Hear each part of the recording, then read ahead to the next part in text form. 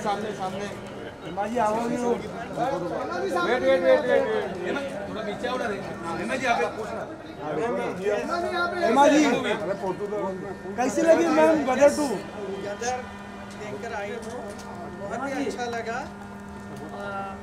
जो- जो एक्सपेक्टेड था वैसे ही था। और बहुत ही इंटरेस्टिंग है। ऐसा लग रहा था कि 70s और 80s का उस ज़माने का फ़िल्म के जैसा एक दौर है।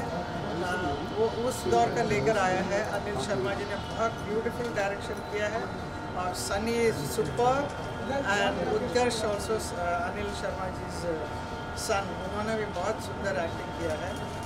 और नई लड़की जो है वो भी बहुत अच्छी है। और इस पिक्चर देखकर एकदम राष्ट्र के प्रति प्रति जो भाव होना चाहिए पेट्रियाटिज़म वो बहुत ही है हिंदू और मुस्लिम के प्रति जो भाईचारा होना चाहिए, उस विषय को लास्ट में लेकर आए हैं। और it is nice message for India and Pakistan और सकीना और तारा की जोड़ी को वापस से 22 साल के हाँ बाद देखा गया पर्दे हाँ जी। पे सनी और अमीषा जी की जोड़ी को हाँ बहुत अच्छा। 22 साल के बाद। तो बाईस साल के बाद भी दोनों बहुत ही सुंदर लग रहे हैं बहुत अच्छा काम किया तो क्या लगता है मैम गदर से जाना चाहिए? गाने को फिर से मतलब रिक्रिएट रीअरेंज करके हम सभी के बीच में रहा। दिलीप जी की आवाज़ है गानों के बारे में आप क्या कहेंगे? गानों के बारे में क्या कहेंगे गाना भी इंटरेस्टिंग है सब लोग बहुत पसंद करते हैं। बिकॉज़ ऑल हिट सॉन्ग्स है उस वक्त इतना हिट हुआ था सब गाने। उसको वापस दोहराया तो बड़ा अच्छा लगता है।